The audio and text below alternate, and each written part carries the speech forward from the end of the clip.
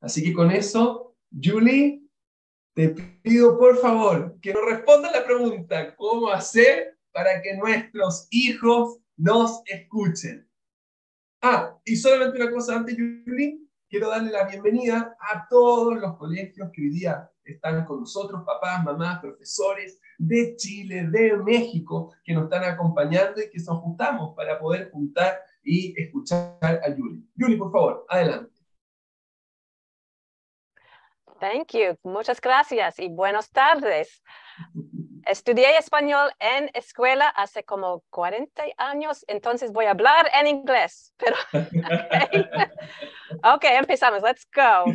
So, when I think about what our goals are as parents for our children, I think that we have two goals I'm going to suggest. The first goal is for the present. I think we want to get through the day to manage all those little conflicts that come up without ending up feeling miserable and angry, right? We want to get through the day and survive the moment. The second goal is for the future. We want our children to grow up, to have a strong sense of who they are and what they're capable of. And we want them to care about other people and know how to resolve conflicts peacefully. Well, it turns out that the way that we handle all the small daily conflicts can help kids grow up to be people who can handle grown up conflicts with strength and caring and respect. But I'm going to suggest that for most of us, when our kids are little, we're pretty strongly focused on just getting through the day, right?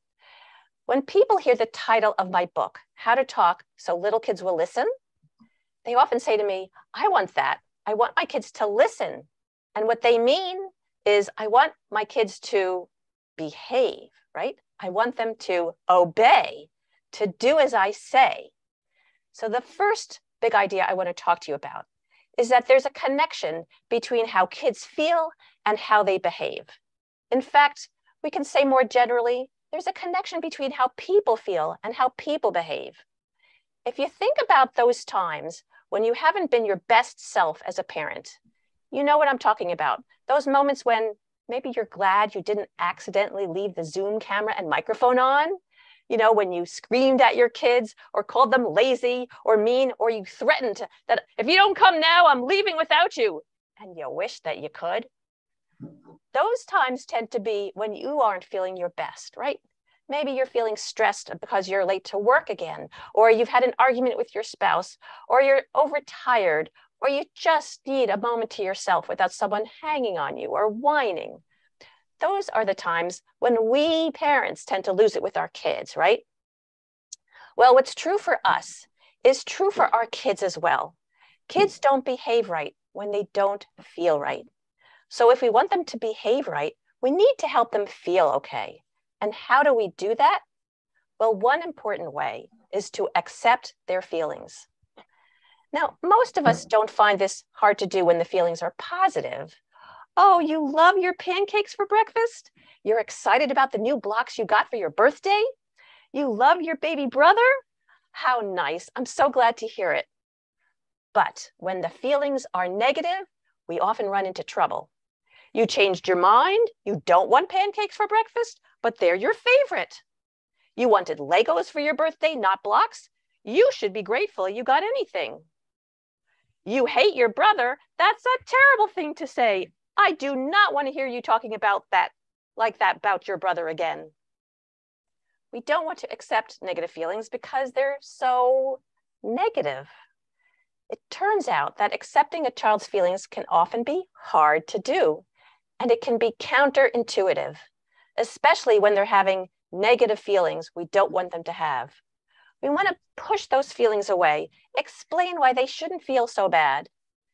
And I think we do these things automatically. We discourage angry emotions. We try to protect our kids from sad emotions.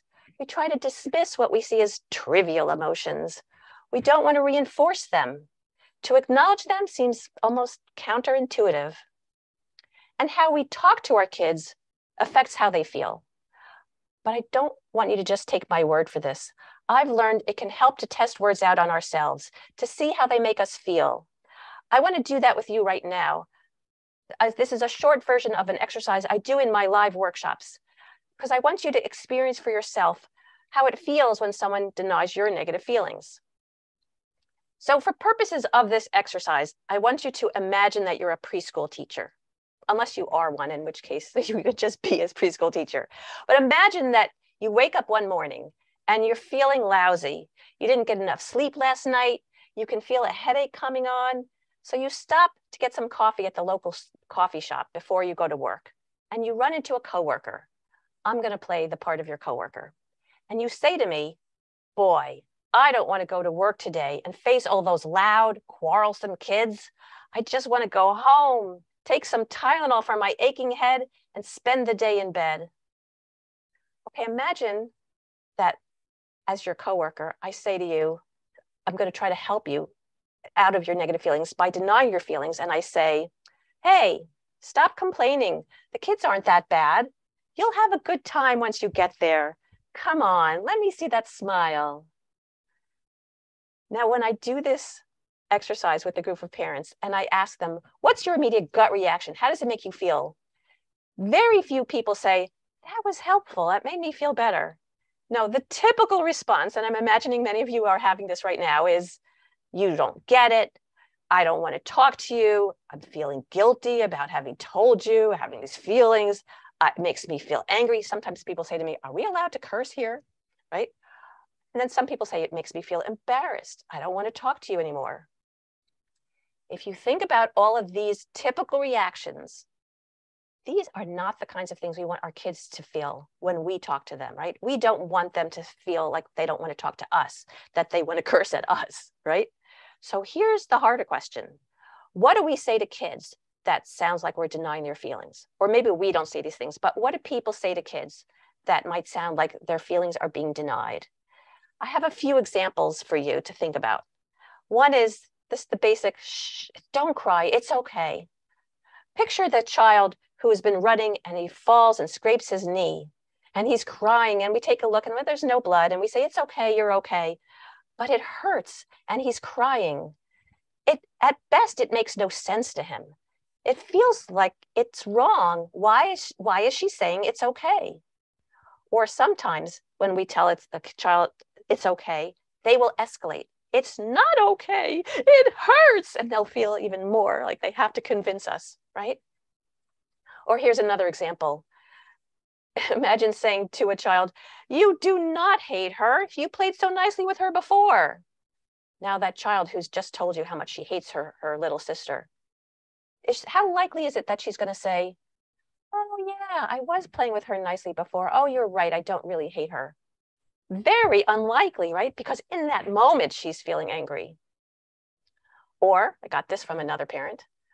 But you like macaroni and cheese. This is just a different shaped pasta. It tastes exactly like macaroni. Again, very unlikely that the child is going to change their mind and say, oh, oh, well, in that case, it's I'm cool with it. Or my sister once said to me, Julie, calm down. I immediately escalated. If you think that I should be calm, then you don't understand the severity of the situation. I totally escalated because I felt like she doesn't get it. I shouldn't be calm. Okay, so oh, I wanted to try give you another one because I got this one from uh, a bunch of parents who tell me when a child says, I hate school, I don't want to go. And the parent responds, You don't really hate school. You'll have fun once you get there. You know you like playing with the blocks. I couldn't even drag you out of there yesterday. Right? Has any child ever responded, Oh, yeah, you're right. You just reminded me that I do love school. No. The more that we try to push away those negative feelings, the more the other person gets entrenched. They have to convince us, I don't want to go to school, but you like school. No, I don't. I hate it. I'm never going away. I'm never going again. Okay, let's try a different approach. Let's go back to the coffee shop. And when I ask you how you're doing and you tell me, instead of denying your feelings, I'm going to ask you a series of questions. Now you have to imagine that we're having a conversation and you answer me as I ask you. But put yourself back in the coffee shop with, with me, your coworker, and I say to you, Are you getting enough sleep? Hmm, well, what time did you get to bed last night? Did you take any cold medicine? well, why haven't you been using those hand wipes they have at the school so you won't catch germs from the kids? Okay, now notice your gut reaction. Do you appreciate my questions? Or, as most people tell me, does it feel like I, she thinks I'm doing it wrong? I feel judged. She thinks I'm stupid. Or it feels like an interrogation and I feel defensive. I feel criticized. Uh, so, again, do we ask our kids questions when they're upset? All the time. Why can't you be nice to your brother? He just wants to play with you. Or why are you crying? Even questions like that, which we ask out of caring, can feel like an interrogation to a child. They might feel like, I don't know if I have a good enough reason to be crying, or I don't even know how to explain it. So, and the why questions are, I would say, the most dangerous. They really can put a child on the defensive. And of course, it's natural for us parents to want to know more. I'm not suggesting that we shouldn't ask our kids questions, but our timing is critical. If you feel the urge to ask a question, see if instead of asking the question, you can turn it into a statement. So instead of saying, honey, why are you crying? You can say, oh, you're crying. Can you hear how that's an invitation for a child to tell you more, but it's not a demand? Or if you, when I say, what happened? Instead, you can turn it into a statement and say, something happened. Again, it's an invitation to a child to tell you if they're ready without demanding it from them. So if you are a question asker, as many of us are, why did you do that? Why didn't you stop when you were supposed to? Well, that's not even really a question. why did you make a mess right these are questions that are really expressions of our frustration but even our genuine questions of wanting to know what happened what you know why are you crying we can turn them into statements so that a child doesn't feel defensive um, okay let me try a different approach back at the coffee shop imagine i try a philosophical lecture and i say to you hey no job is perfect that's just life there's no use complaining about it. If you dwell on negative feelings, you'll become a negative person. People who focus on being grateful and feeling grateful, they make the best of whatever life gives them. Did that make you feel better? Most people tell me it doesn't. they say either makes me feel guilty or I hate you or this is depressing if this is what life is like or just that I feel dismissed and my feelings don't matter. So again, what do we say to children that might sound like this? We might, it's it's things like, honey, it's not such a big deal. You can't always get what you want. Or here's another example. After the soccer game, kids come to you crying, and in the, and, and we, honey, honey, you win some, you lose some. You can't win every game. I'm not suggesting that we don't want to teach our kids these important life lessons it's true if you're playing a win lose game that somebody's going to win and somebody's going to lose. The problem is if that's the first thing we say to a child who's full of hard feelings, they're not going to take it in. They're not going to hear it. They're not going to learn what you want them to learn. Okay, of what I'll, I'll just share one more. My dad used to say to us, "Well, look, life isn't fair. You've got to stop it with the he gets, you know, he got more, hers is better sort of thing." You know, and I can tell you that I never thought to myself, well, you know, I was upset, but now that you've explained that to me, that life isn't fair, I feel so much better. Thanks, Dad. No, I just, I thought, well, you're in charge. You should be trying to make it as fair as possible. I thought it was a complete cop out. Okay, let me try one more approach back at the coffee shop. Imagine instead of all that other stuff, I say, I acknowledge your feelings by saying, ugh, it's awful to have to go to work when you don't feel good especially when you work with kids. What we need is a big storm that would knock the power out just long enough to close the school for the day. What was your reaction now? Most people say to me, Oh, such a relief after all those other statements. Yes, you get it. And I forgot to tell you something else that happened this morning, right? So it's often an invitation, it feels like an invitation, like, oh, I'm so grateful that somebody gets how I'm feeling. Okay, so in our book, we have a bunch of tools, various ways that you can acknowledge a child's feelings. And I'm going to share with you a couple of them. The first one is to acknowledge feelings with words. So I want you to listen to the difference between what we want to say and what children need to hear. Imagine a child says, This puzzle is too hard. What do we want to say? Oh, look, it's easy. Here, I'll help you. The problem is, no child ever took heart from hearing that what he is struggling with is easy for others. So, what will give him the strength to go on is to hear, Ooh, that does look hard. There are so many little pieces that look alike, it could drive you crazy trying to find the right one. Or when our child says, Ma, I lost my favorite Lego guy. What do we want to say? Oh, please, you have zillions of those pesky little vacuum hazards. But it will help him calm down more quickly if we say, Oh no, that one was really special to you. You really like the little helmet and the sword. Or when your child says, I don't want to sing in the show, right? We want to reassure her. Oh, you'll do fine. There's nothing to worry about. You have a beautiful voice but it will actually give her more courage to get on stage if her feelings are accepted. It can be scary to be in front of a lot of people. But what if your child says, I hate Sammy? What do we want to say? Don't say that. You know you love your little brother. You have to be more patient with him. He's only two. But it will actually help her feel better towards her brother if you acknowledge her feelings. You sound very frustrated with your younger brother right now. It's not easy to live with a two year old. It's hard to protect your stuff. A mom told me she acknowledged her son's feelings, but it only made him more irritated. When I asked her to tell me what she said to him, she said, Okay, I can see that you're angry. And now I hope in the translation you can hear how her words seem to accept her feeling, but her tone of voice is saying, Calm down, calm down. So our attitude and our our tone of voice is important. You have to mean it. Otherwise, a kid will experience it as phony or manipulative. So it's important to match the emotion and be genuine. Ooh, you are so angry. Okay, I want to share with you a few stories that parents have written to us since the book came out, telling us how they've used this tool with their actual kids. The first story I want to share with you was posted on Facebook. It goes like this Yesterday, my daughter Lena asked for waffles for breakfast, but once they were on the table, she desperately wanted pancakes. Previously, I may have tried various techniques to get her to eat that breakfast. Come on, honey, I already made you waffles. There's no time for pancakes now. Besides, you asked for waffles. And how likely is that going to work, right? this time, I just acknowledged her feelings. Here's how the conversation went Lena, I don't want waffles. I want pancakes.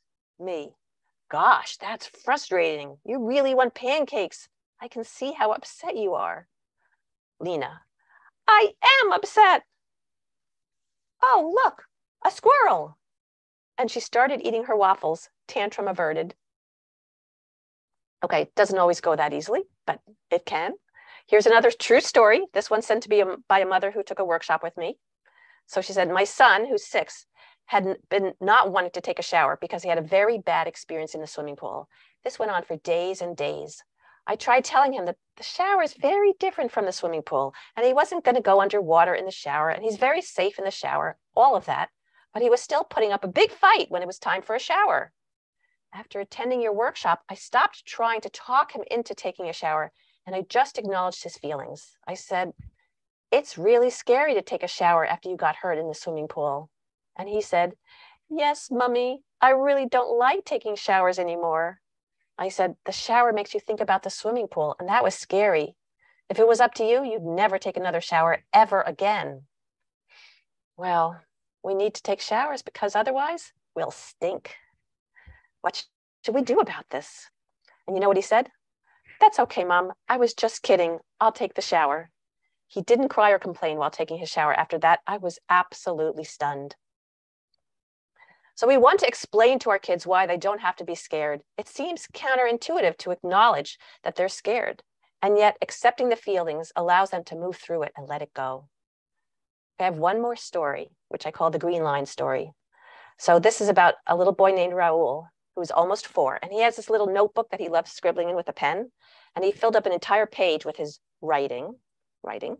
And the next thing I know, he's crying because there's a green line on the page. So mom says, What's wrong? The whole page is ruined. There's a green line on my writing. Normally, mom says, this is where I'd say things like, It's not such a big deal. You can turn the page and write on the next page. Besides, you made the green line. Not that that would have helped. This time I tried acknowledging the feelings. Oh no, that's not what you want. No, you wanted a clean right page of writing in pen. Yeah, now the whole thing is ruined. He stopped crying, but he was still upset. What can we do? It won't erase. My two year old was listening this whole time. He picked up a piece from a board game. We have pieces of board games all over the house. There's no way anyone can ever play these games for real anymore. And he put it on top of the green line and said, Tape it. Now, Raul really likes tape, so he was enthusiastic about this idea. My two year old ran to get another piece, another board piece. Like I said, they're all over the place, and taped it on top of the green line. Raul was very satisfied with this. It was an amazing save. Okay, so those are all examples of acknowledging feelings with words. We have another tool for you, which is we call giving a child in fantasy what you can't give in reality. And I had a mom in one of my groups who took this tool and used it, applied it at a hard moment in the car. So she said she has a three year old. Here's her story. She's a three year old Benjamin found a penny at the park and put it in his pocket. He and his mom were driving home and he wanted the penny, but he couldn't get it out of his pocket because he was strapped into his car seat. He's, he was starting to scream and cry about it. And normally his mom would have told him, It's okay. We can get it when we get home, which she admitted probably wouldn't have helped. Or she would have tried to fish out a coin to give him while she was driving. You know, have you ever done that? Reaching over and trying to get something while you're driving, uh, which which would have endangered the other people on the road. But this time, she remembered the idea of giving a wish in fantasy. She said, This is so frustrating. You know what I wish? What? I wish I had a button right here and she pointed to a spot on the dashboard. Oops, sorry, on the dashboard in front of her. So can't see with my camera.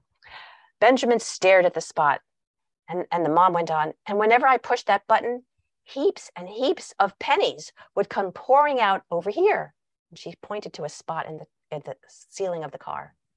Not just pennies, but every kind of coin, even coins from other countries, and they would all fall right into your lap. Benjamin listened wide eyed and you would have so much money, you could buy anything you wanted. What would you buy with all that money? A really big teddy bear. Oh, how big? As big as you? Yeah. At this point, he was really into the fantasy and very happy.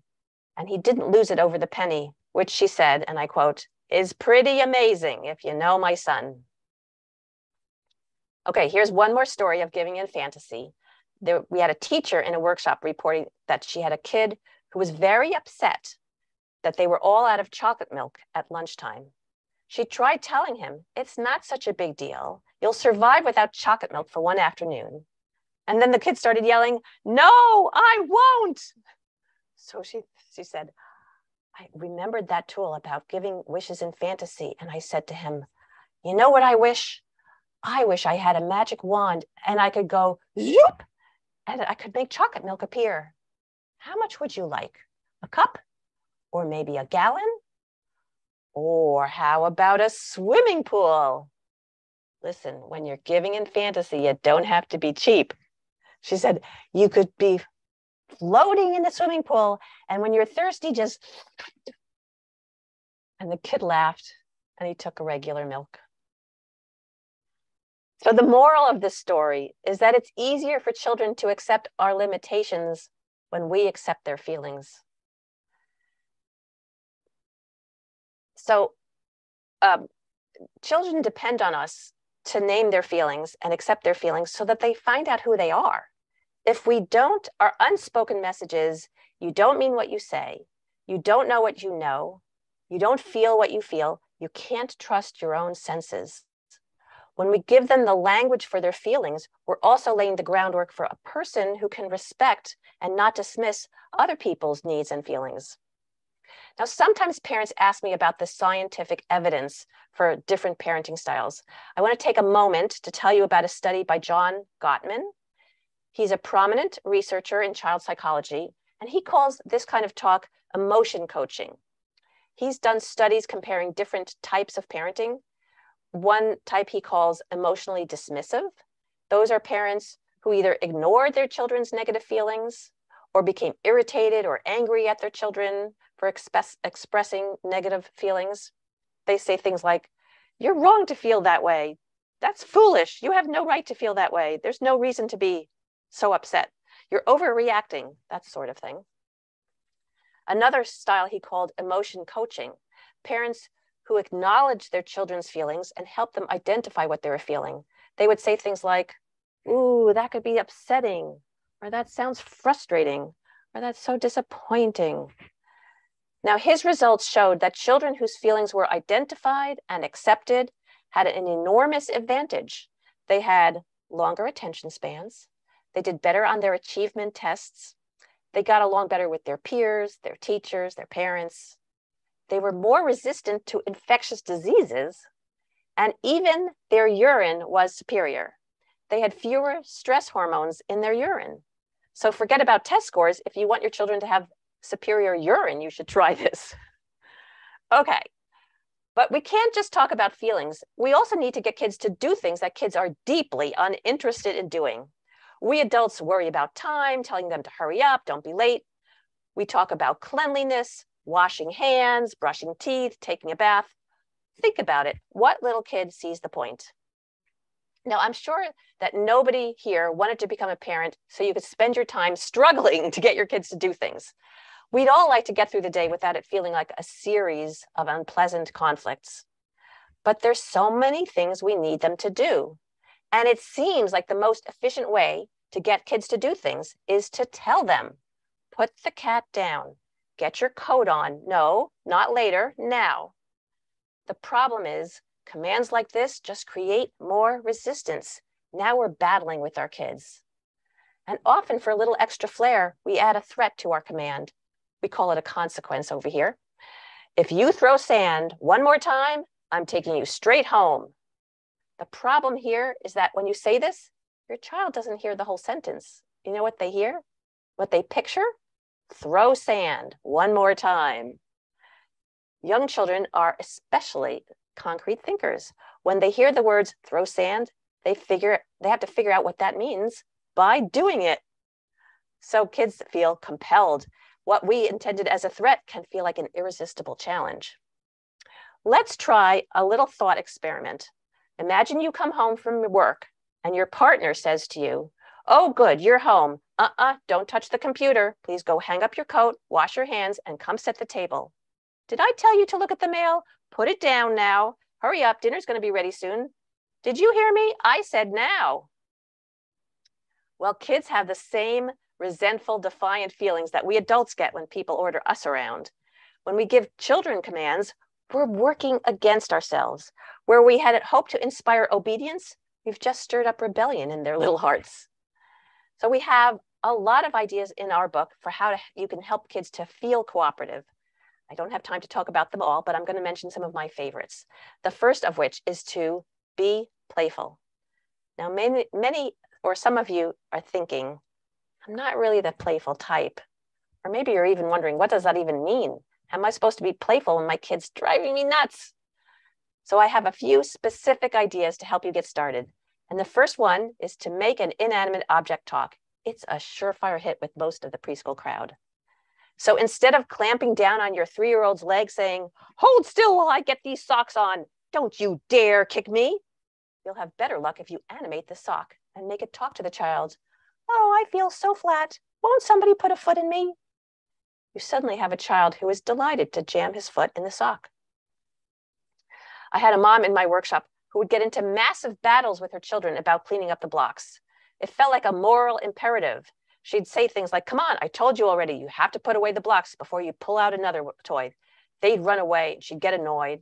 At one point, she said she literally tried to take their hands in hers and put it on top of the block and grab it and put it, get, make them put it away. But she said it just wasn't efficient. So after I gave her this idea of making an inanimate object talk, she really went to town. And she said she put, picked up the block bag and made it talk. I'm hungry. Feed me blocks. And the kids started throwing colored blocks into her bag. Mm, yum! A, a green one, that's delicious. No, not the pink one. Ah, it makes me want to throw up. Suddenly, she had all her kids running around stuffing blocks into the bag. They had so much fun, they poured out all the blocks so they could do it again. okay, so another way to be playful is to make something into a game or a challenge. Instead of telling the, your kids, this room is a pigsty, you need to clean up, or I'm throwing these toys away. You can tell them, let's set the timer. How many toys do you think you can toss in a basket in one minute? Are you ready? Hold on. Ready, set, go. Or you might say, let's have a race. I bet you can't get all the Legos away before I finish cutting the carrots and peppers for dinner. Ready, set, go. Now, of course, you are going to be racing against your child and you will lose. And then you can pretend to cry. Ah, how'd you get to be so fast? It's no fair. And then kids will laugh at you because they know that you're the all powerful one. they never get to see you cry. So being playful changes the whole mood because a day can get pretty grim for a kid who's being told what to do all day. And let's face it, it can get grim for an adult trying to get kids to do all these things all day. When you use playfulness, it puts everyone in better spirits and it makes kids feel cooperative and it makes them feel more loving and connected, right? Who could argue with that? Okay, here's a story from a dad who took the uh, workshop with his wife. He, he wrote to me, he said, We live in a small house.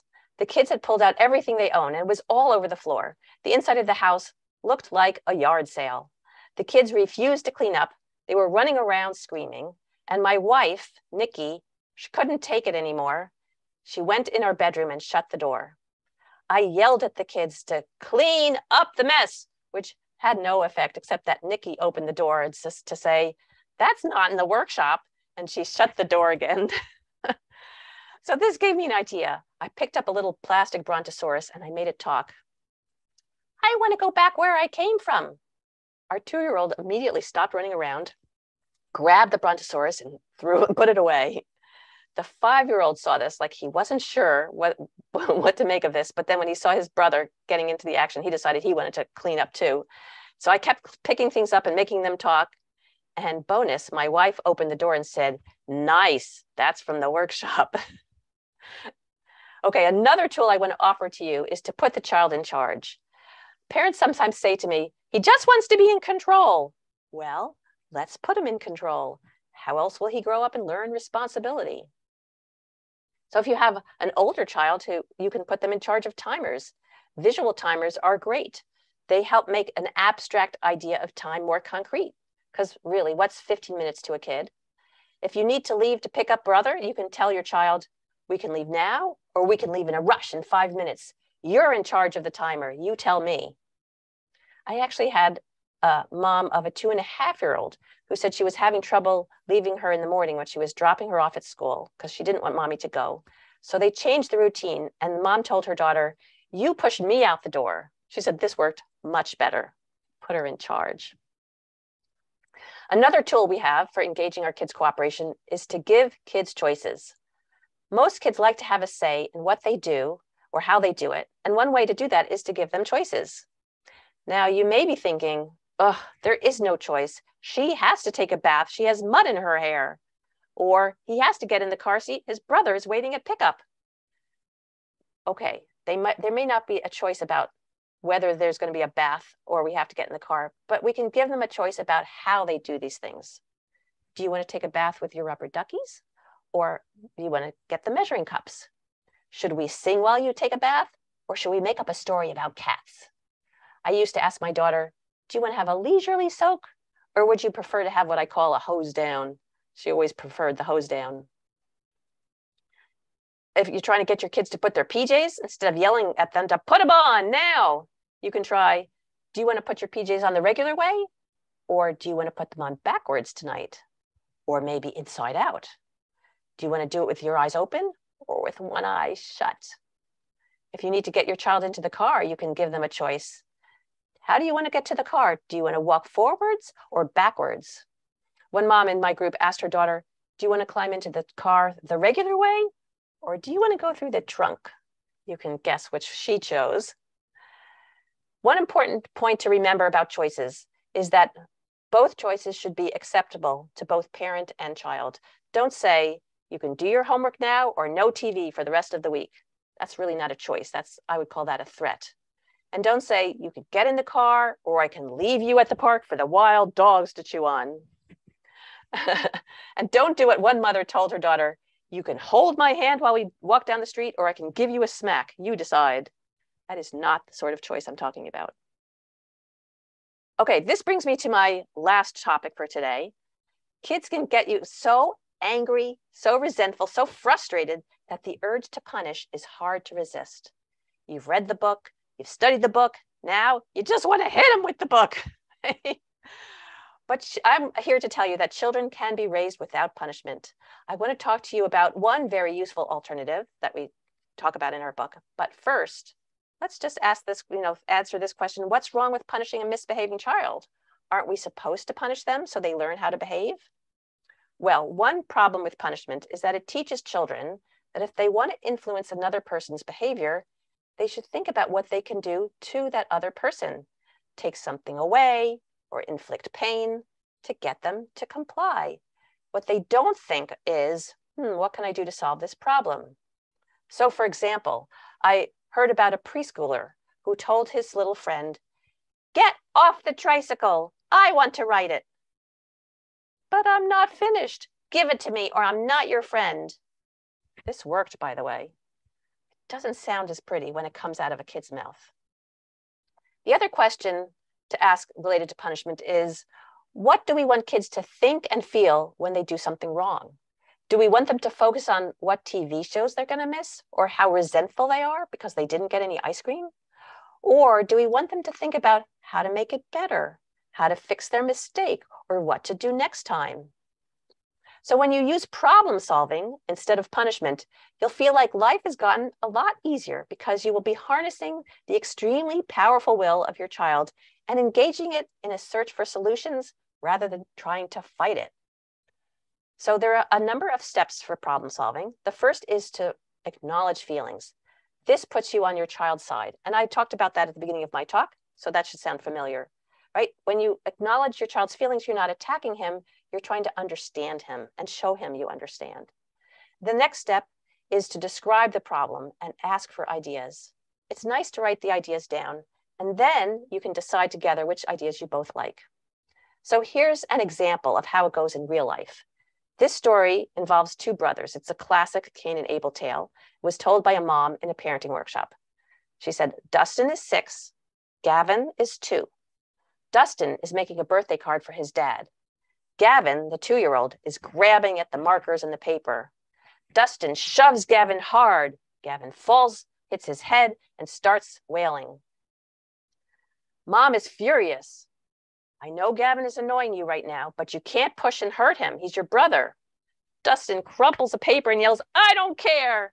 He runs upstairs to his bedroom and slams the door. Mom goes upstairs after calming down Gavin and says to Dustin, I can see you're really angry. It can be frustrating to work with a two year old around.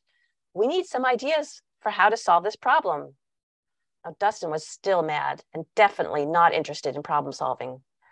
So, mom knew that it can be helpful to start with a silly or outrageous suggestion. She said, Well, I'll go first. What about for number one, lock Gavin up in the dog crate Dustin's face is suddenly transformed into a big smile. He says, Put in number two, but leave it blank because I'm not going to tell you it. Then he says, For number three, I could work in my room. Or number four, I could lock myself in the bathroom to work. Or number five, Gavin could play outside. Or number six, Gavin could watch Peter Pan video. Mom said, Well, let's see what we want to cross out and what we want to keep. And Dustin says, Well, you can't lock a, book a boy in a dog crate. So cross that out. And mom said, Well, Gavin can't play outside alone. He's only two. And Dustin said, Well, now do number two, right? I won't push Gavin. Dustin went downstairs, got a fresh piece of paper, and went to his room to make a birthday card for his father. Now, think about what would have happened in a typical scenario. Maybe the kid is spanked or sent to timeout. What would he be thinking? gee, I realize that I should show a lot more love and tenderness for my dear brother. After all, we do have shared genetic material. No. More likely, he'd think, it's not fair. I hate him. He's always ruining everything. Mom always takes his side. I'm mean. But think about how much better after problem solving. He's probably thinking, it was a difficult problem, but I figured out a solution. Next time, I won't have to hurt him. Mom's not mad at me. She's proud of me. So there you have it. Three sets of tools for uh, tools for engaging feelings. I'm sorry, tools for acknowledging feelings, tools for engaging cooperation, and the powerful tool of problem solving to resolve conflicts. I haven't talked about every tool in the book, but I promised to pause and take questions.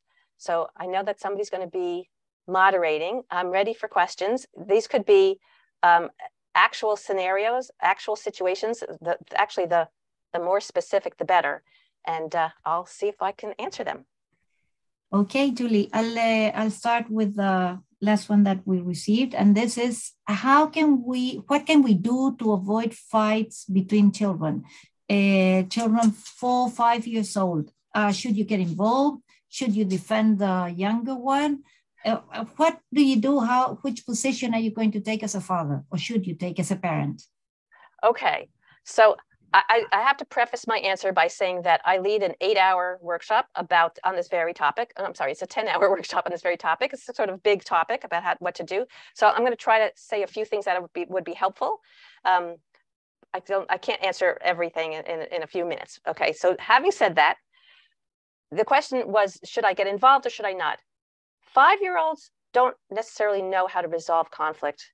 Here's what I want to suggest it's not either I step in and solve it for them or I leave them to their own devices. There's a middle way. There's a third way, which is to step in and let's let's imagine. Let's see. What are they? They they're fighting over who gets to sit in the front car seat. Let's let's just make one up because I think that'll be helpful, right? We don't just leave them to duke it out and whoever's strongest gets in the car seat and the other one's left for the in the back. No, we we we we use. I would use the same problem solving steps that I was just talking about for two kids. So now I have to acknowledge what each of them wants. Boy, that we have two children who both want to sit in the same car seat, and there's only one of them. Maybe it's a front window seat, and they both want that seat. So I'll first acknowledge what they both want. Hmm, we have two children and only one car seat that's that's favorite. What should we do? Right? So what have I done? I've acknowledged what they each want. In this case, they want the same thing, so that's easier. but sometimes it's not that. Sometimes I want to play alone. Oh, I want to play with him. I wanted to use that doll. No, I wanted to have a turn first. Like whatever it is, we're not taking sides. We're just putting it towards what each of them wants, and we don't rush it. We wait until they feel, they each feel like I, the parent, get it, because they're not able to listen to them to each other in that moment. They just want what they want. So when I, it actually reminds me of um, I almost told this story in the talk, but I didn't have time. When uh, when my oldest, his name is Asher, when he was four, he had a little friend named Matthew, and they actually did have a fight about who got to sit in the front seat. And I have to preface this by saying that when my, son is now 31, so when he was a, a young child, kids were allowed to sit in the front. Now they're not allowed. So I just want you to know that that's why they were fighting over it. And I did exactly what I was suggesting. I said, boy, we have two boys and they both want to sit in the front seat and we only have one of them. What should we do? And I have to admit to you that my first thought was to say, well, we should let Asher's friend sit in the front seat because he's the guest. But I decided I should use problem solving instead to see what they could come up with. And here's what happened. First, Matthew said, I should get to sit in the front seat because I'm the guest. of course, I thought, well, that makes sense. That's what I was going to say. And then Asher said, my son said, but you sat in the front seat on the way here, so now it's my turn. And I thought, oh, I didn't even think about that. That's true. Matthew did sit in the front seat the last time, so it should be Asher's turn. Like, I don't know what to do. And we seemed to be at a at loggerheads with at a standstill. And I didn't know what to do. So I I just I thought I'll put into words again what they're saying. Like it's, it's there's there must be something about the front seat that you really like. And Matthew said, Yeah, I like to sit in the front seat because I can see better out the front. And Asher said, Well, I like to sit in the front seat because then you can control the music. You can pick the music that we listen to because you can reach the radio. And there was a pause. And Matthew said, I have an idea. How about I'll sit in the front seat and you tell me which music to put on? And Asher said, Yeah. And suddenly they were best buddies again and they got in the car. Now, I'm going to admit to you, it doesn't always resolve that quickly and that well. But the idea is the same. We can we can engage them in problem solving. And if you think about it, what have I done? I haven't just resolved that particular conflict. I've also given them a process for what do we do when we have a conflict with another person. Rather than trying to overwhelm them with our strength, we try to figure out what do you want and what do you need? What do I want and what do I need? And what can we think of that will meet both of our needs? And that's I that I would argue is such a valuable skill very hard to learn, right? Even as adults, we're practicing this with, with our partners and other people in our lives. But if we can teach our children this tool for resolving conflict from a young age, we, we will have given them a huge gift. Yeah, that's true. Thank you for that. Um, how can you deal with children when they use bad words or nasty words as a way of defending in any conflict? Uh, how, how can you deal with that? What should you do? kids use bad language for different reasons. We actually have a whole chapter about it in our new book. Um, but one of the reasons why kids use what I would call bad language is because those words have huge emotional power, right? When we're really, and think about when adults curse. When do we curse? It's when we have really strong, angry feelings. And we feel like I need language that will express those feelings. And when that's happening, Here's what doesn't help. Uh, uh, uh, we don't use that language in this, in this family. Don't use that word, right? Think about it as an adult.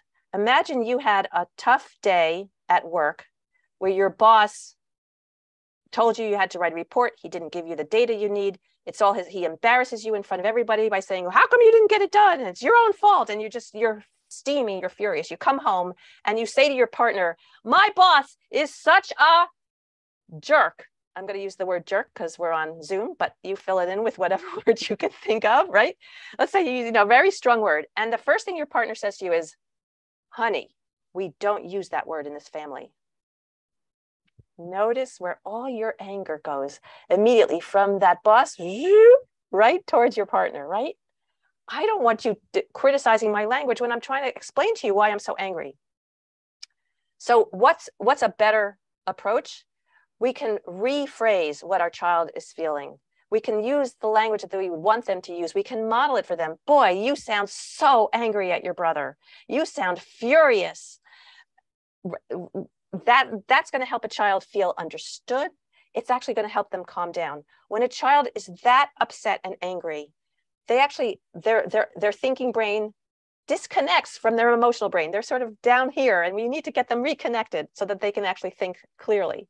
So by giving them the language, by showing them we get it, by not first criticizing the words, we can help them feel understood, help them calm down. And when they're in a, a, better place, we can say, you know, it upsets me to hear you use that language. That particular word is hard for me to hear. I much prefer if you say, I am furious, or give them, get out the thesaurus and give them a bunch of language tool, uh, words that they can use instead. Yes, and and and what happens uh, when your child hits you, when he gets angry or frustrated? Uh, it's a six year old. So the question is, what can I do uh, that he listens that he must not hit me when he's frustrated or angry? Yeah. So a six year old who's hitting is having a hard time controlling his impulses and controlling his anger. So we want to we want to work on that over time. Um, in the moment, if you're asking me what do you do in the moment, I would I would stop him from hitting me. I would I would show him that I, I don't let people hit me. And that's the language I would use. The language is important. I'd say, I won't let myself be hit. Right. I, I mean, you don't have to be a purist. If you say, I won't let you hit me, that's okay too. But the reason I actually say I won't let myself be hit is because if we can avoid saying that word you, we avoid putting the child on a defensive. We avoid them feeling bad or shamed and we just focus on the behavior that I won't allow, right? Which is to let myself be hit. And don't let yourself be hit. Step away or hold his hands. We're going to take action to make sure that we're protecting ourselves. Sometimes people say to me, like, what if they're throwing things? Like, I'm not going to just say you're in a throwing mood and let them like crash things against the window. No, we're going to take action because we need to protect people. We need to protect property. In this case, I need to protect myself. Uh, you know, I want him to, I do want him to learn how to control his rage. uh, control his impulses, but I'm not going to let him I'm not going to address that before I protect myself first. But that's just not where it ends.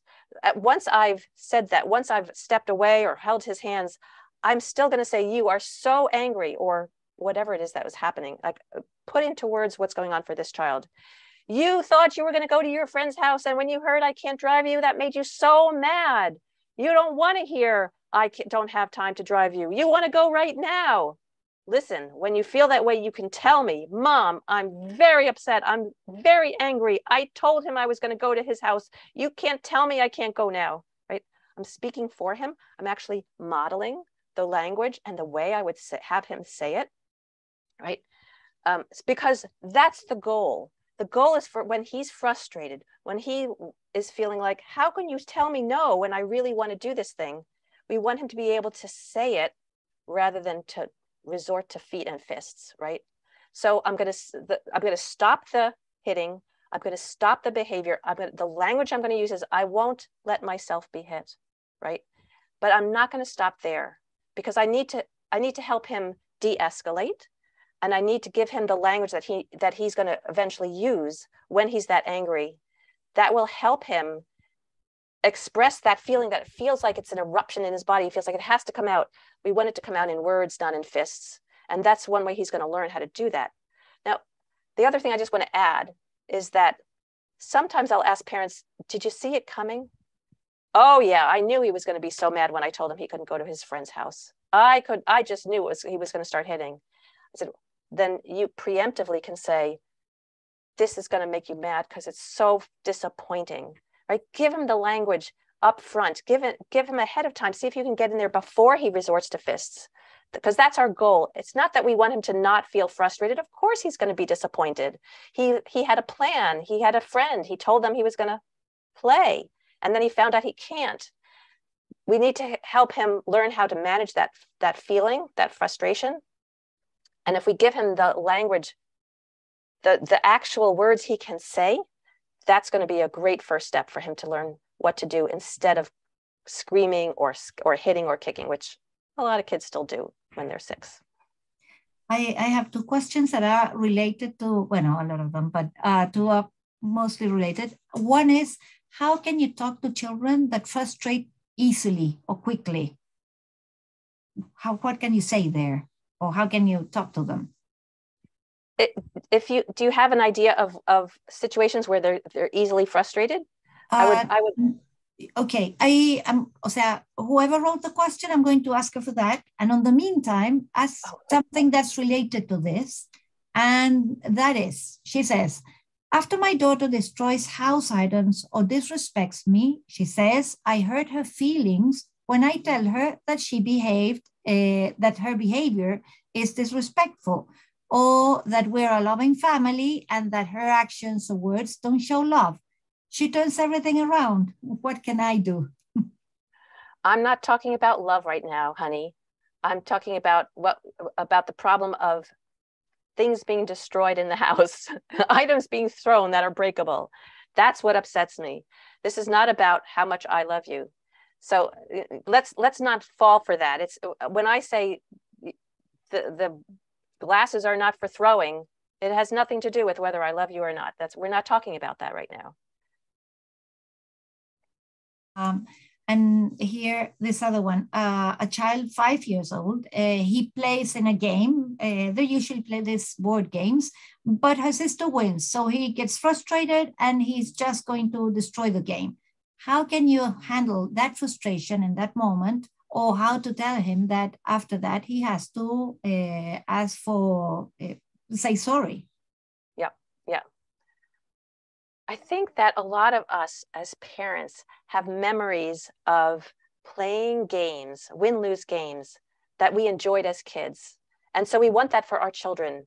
And i think sometimes we forget that it's sort of a it's a developmental skill to be able to play a win lose game and be okay with following rules and losing.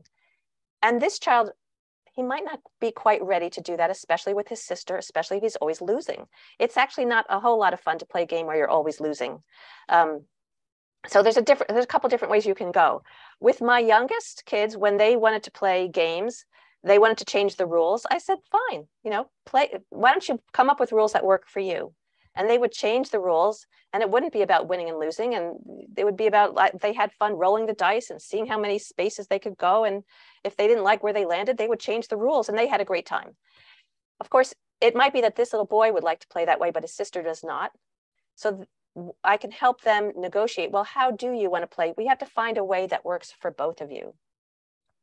When my oldest was, hmm, he was older than five, but he was interested in chess. And my husband was a chess player and said, I'll teach you how to play chess. He taught him all the rules and then they played chess. And my husband would play his hardest and he would always beat my son. And my son, very quickly, as you might imagine, lost interest in playing chess until I suggested, you know, it's not really an even match. Why don't you ask him if he wants to have special daddy rules so to make it a little bit more fair and a little bit more fun. And so that's what they did. They came up with rules that daddy would give him a little hint if he was about to move his, you know, his pawn in front of the king or whatever. I don't play chess, right? But um, they changed the rules so it was more fun for my son, and it was more fun for my husband because otherwise my son didn't want to play and he got got mad and upset about it. So, so, so kids do this all the time on the playground. If we just leave them to their devices, they change the rules to make it more fun for everybody. And I might suggest this for these two, this sister and brother. Like, how could you, what could you do that would make it fun for both of you, right? I, you want to acknowledge your sister likes playing this game and you kind of want to play it but it's frustrating because it's hard to it's it, it's hard to play when you're always losing i wonder if there's something you could do so here what I did, I acknowledged both of their feelings first. And then I say, I wonder if there's something you could do to change the game so it would be fun for both of you. Then you do the hardest thing as a parent. Nothing. You let them talk, and let them negotiate and see if they could come up with something. Now, that's great. But this question is interesting because it says, which what what can we do which tool can we use when we have situations like the ones you're mentioning for example the car chair or something like that but we're late. we're delayed and we don't have the time. Yes, yes, yes. And that so happens a lot. let me uh, thank you for that question because you're right. Uh, I, I don't want to suggest that you can always stop life and do this. Sometimes this is what I would say to my kids. I hear that you both want the front seat and we don't have time to figure out who's going to, you know, a better system for who should sit there. So right now I'm going to decide and somebody's going to be unhappy and we should figure out later we should figure out a system for next time so this doesn't happen again and i would absolutely say i don't have time for this and and and acknowledge that somebody's going to be unhappy about it but i do think if, if you have a, I just had a, a parent who said every single morning her kids fight over the car seats. She's got four kids, and they're always fighting about who gets to sit where. And she says it's a nightmare. They're trying to get somewhere, and um, and and so we talked about problem solving with them, not in the moment. In the moment, you're going to decide and somebody's going to be unhappy. But let's find a time to say, this is this is not working for us in the morning. Everybody wants to, you know, a seat, their special seat in the front. And there's been a lot of fighting and nobody's happy about this. We need a plan, you know, before tomorrow morning so we know who's going to get to who, whose turn it's going to be and when when you're going to have a turn. It, that works much better. Yeah, yeah, perfect. Now, I'm going to change a little bit because there's one question here that it says, this is great, but how can we take this to the classroom? Uh, in which cases is it necessary to have a consequence uh, from the school uh, of a child that, here, uh, that were misbehaving. And when is it better to to talk or, or, i don't know to to talk to see the bad behavior with all these tools that you're mentioning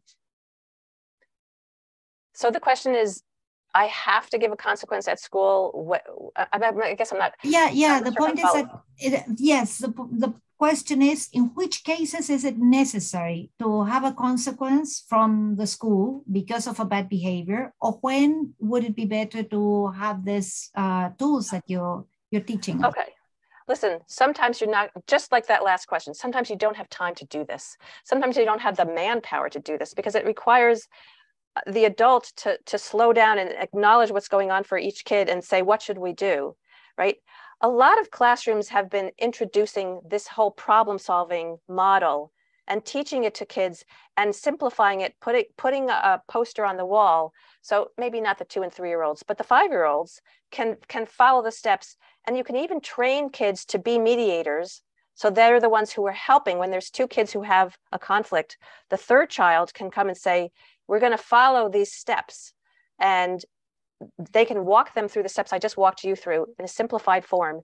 And for certain kinds of problems, kids can start to do this on their own. So I would, you know, if you're not doing this with your with your kids in a classroom, this can be a great way to help resolve conflicts without the teacher having to be involved all the time. Of course, you know, kids will need to have help learning how to do this. And again, like I said before, sometimes you don't have time. Sometimes you have to say, I'm, you know, one kid's kicking another, you're trying to do a circle time lesson. You know, I'm sorry, I'm going to have to move you. I see it's too hard to control your feet. I'm moving you over. I'm, you know, you're going to have to sit outside the circle for now. But if it's the same child, if it's the same, you know, the same problem of a kid always kicking his neighbor or um, create, you know, creating problems, grabbing kids' toys or whatever it is, I don't think that that that consequence is enough because it doesn't teach the child what to do in that moment, how to manage that urge that he has to kick or to grab. And, and that's where we can work on long term not having that problem again and again. Because I had a, a teacher in one of my workshops and she said, you know, we give timeouts timeouts, that's what they call it, to a child who is misbehaving. And she said, the problem is it's the same children over and over and over again. It's not working. They're not learning what to do so that they don't get sent to timeout. They're, because they have they have more skills that they need to develop, whether it's impulse control or conflict resolution, learning to, to notice their own urges and then to control them. And that's what we want to work on for the long term, right? So. Now, related to that, uh, there's a question here that says that uh, they have a, an eight year old son and he gets annoyed because he doesn't like uh, break time to finish in school the point is how what how can you deal with his anger when because he has to follow the rules. He has to stick to the rules. So sure. how can you deal with that? Okay so you know whenever i hear an issue like this i ask myself what's going on and can i relate to it? And if this is an eight year old who feels like i'm working on this this exercise. You gave me this math problem or whatever it is right and I'm I, am i am trying to figure it out. And now you say I have to stop in the middle. I ask myself, what? How can I relate to that feeling? I can relate to that feeling. If I'm working on an email and my husband comes and says you have to come for dinner, I mean, even though I'm hungry, I'm like, ah, I want to finish the, the email first, right? We know that feeling of like I want to finish. And I think that I'm not suggesting that we then let him do that because in a classroom where you have a lot of kids, we don't often have the flexibility for that. But short of that, what would I want as an adult? I'd want a little heads up. Honey, we're, we're going to be eating dinner in five minutes. Whatever you can you find a stopping place or wrap it up, right? A little heads up can be really helpful for adults, and it might be helpful for this eight year old also. And if we acknowledge it's hard to stop, it's hard to find a stopping place. Maybe he even needs a little help oh look it looks like you've got half of it done here. If you put if you write down your your thinking here then it'll be easier to come back after lunch and finish it up. Um, that also can help. So again see what i'm doing is i'm looking for ways to to first of all relate to what's this child experiencing and then how can we help them in this moment without saying oh well go ahead honey you just spend the time. You can just sit here for all as long as you want while the rest of the, the class goes out. So uh, yeah perfect. Now uh, coming back to family, uh, jealous. When you have brothers, sisters, siblings, uh, how can you make them all feel important for parents? Uh, do you recommend spending time alone with each one of them? Uh, how to protect the one that, especially the youngest, without the eldest feeling kind of hurt or left apart or something like that? How can you deal with that? This is this is a great question. And, and you know, we've written, there's an entire book written about just this topic. So, you know, there's so much I could say. Let me just, let me just say, you asked about uh, one-on-one time with each child. I'm a huge fan of, of what, what I call special time with each child. And it doesn't mean you have to take them out to Disneyland or some special place. You can literally go in their room and sit on the floor and say, what should we play for 10 minutes? I'm all yours. And put your phone away, close the door so the other kids can't interrupt and just focus on this one child. That that alone has saved a lot of headaches and a lot of conflict in a lot of families. So that that uh, absolutely yes if you can do it and i am aware that that can be very challenging. If you have several children if you have a busy life it might feel like i can't do it. Think about how much time you spend with the kids fighting and and feeling jealous and all the all the not just the time but the draining energy that it takes to deal with that and see if you can just carve out even if it's i mean i hate to say 10 minutes is, is practically nothing for a child but even 10 minutes can make a difference. Um, and then sometimes parents ask me my kids get jealous because you know this one needed new shoes and that one wanted new shoes. And the message is it's hard to see your sister get new shoes. It makes you want to get new shoes too and even though you know that her, you know, that your feet haven't grown yet, and so you don't need new shoes, you kind of wish you did. You wish they grew so that you could get new shoes. It's hard to wait, right? So uh, I'm not caving in. I'm not saying, well, come on, honey, let's go get you some too. Not that. I'm just, I, I shouldn't say just because it's not so easy. I'm acknowledging that it's hard to see your sibling get something that you want. I think sometimes we're afraid to say that because we don't want to, we're afraid we're going to make that feeling stronger. But the opposite tends to be the case. Now the child feels like, okay, you get it. You understand how much, how hard it is, how jealous I feel. I don't like that you're giving her more attention. I don't like that you're buying her something. So I think we're out of time here. And I just wanted to make, shall I make a, a closing comment? Um, although people have stuck around. It looks like we could do this for hours. Um, yes, and, and you can't imagine uh, we do have a lot of questions anyway, but yes, we could go on for hours. So well, you know, let, let me just I hope it's okay if I make a pitch because because a lot of these questions we do address in our books. We have the two books and they have been translated into Spanish. So there's the how to talk so little kids will listen. And I was going to try to say it in Spanish, but I'm not sure I remember. Como hablar I'm not going to try. ¿Cómo hablar para que los hijos escuchen? O para que los, para que los pequeños escuchen. Exacto, exacto. Sí. Um, and then we have cómo hablar cuando los niños no escuchen. I think that's how you say it. How to talk when kids won't listen. And the subtitle of that one, I'll say it slowly for the translator, is whining, fighting, meltdowns, defiance, and other challenges of childhood. So a lot of these issues are addressed in the book. We have a lot of short chapters on different topics, like the name calling and bad language. I only answered part of that question. There's more in the book. Um, there's there's a chapter on kids fighting. There's lots of lots of hot topics like the ones that you've been asking me about. And let me just make one more comment before we before we end, which is to say that uh, sometimes when I give a talk, I think people feel like, oh my gosh, like who could do all of this all the time? This is sort of overwhelming. It's like, it sounds great, but it's like, how can I do this? And yes, I want to say, you're right. We don't have to be perfect. We're only human. If you say something unhelpful, don't beat yourself up about it. And don't worry because your kids will misbehave again and you'll have a chance to try something else next time. That's the good news. and uh, this whole method was um, inspired by a child psychologist uh, Haim Ginott, who used to say, you know, you don't have to be Orthodox, you can be Reform. We can aim for 70%, that's a good aim. Some days, 50% is all we can manage. And sometimes even just 10% can make a difference in the relationship, right? It is possible to change the way we talk to our kids. I see it all the time with my clients and in my workshops. And I think we're giving them a gift we're giving them tools for respectful communication and tools for resolving conflict that they can take with them into adulthood. And one more thing, I would genuinely love to hear from you if, if, if you use these tools in real life with your kids. I, I, I think that um, you've gotten my, my website and my, my contact information. Please yes. write. I, Yes. yes, but I think it's important to leave it here. Así que Daniel, I was going to ask you if you we can write down your website and Facebook and Instagram account because uh, because of what you're saying. I think it's it would be really interesting to follow you and to send you all this. So yeah, so I'm going to put in. Great. talk, type, to, type fast. How to talk for parents. That's my Instagram. Um, Great.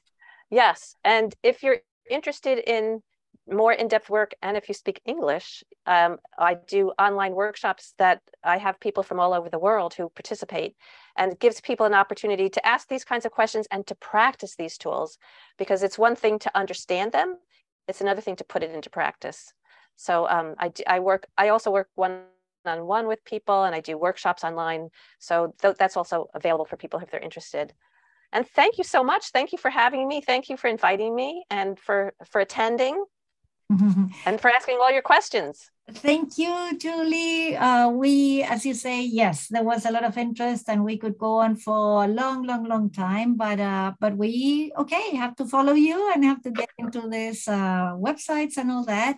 Uh, but it was really, really interesting, fascinating. Daniel is having trouble with the internet, so I don't think he will be able to close if, as you have seen, that he connects and disconnects. Uh, yes. I would like to thank you. Ahí está, Daniel. I don't know if he wants to say goodbye. If he's having trouble, say. Yeah. Así que. One second. One second, yes. Now I think it's much better. I'm yeah. sorry about it. Sí. Eh, te escuchamos perfecto. Estábamos cerrando y estábamos, okay. tenías dificultades. Estábamos esperando. Sí, muchas gracias, Julie. Muchas gracias em, a todos los que y todas las que se conectaron. Em, esta grabación se va a enviar a cada una de las personas, a los distintos colegios. Em, gracias, Mónica, nuevamente por, eh, por, por, dar la cabida a todas las, las respuestas, coordinar las preguntas, invitar a todos los papás y mamás que hoy día estuvieron con nosotros a revisar esta, esta tremenda oportunidad que tuvimos de poder estar en taller con Julie King em, y agradecerle nuevamente por su asistencia.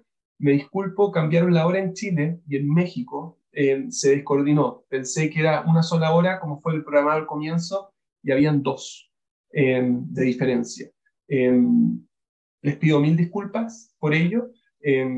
Espero que podamos en algún minuto, apenas termine esto, mañana vamos a enviar la grabación. Em, y, la verdad fue un error em, por el cambio de hora que cuando se programó em, había una sola y después pasó a dos. Así que nuevamente mil disculpas, agradezco a todo el interés, todas las personas que se conectaron y ya vamos a estar en una próxima oportunidad con un nuevo taller. Muchas gracias.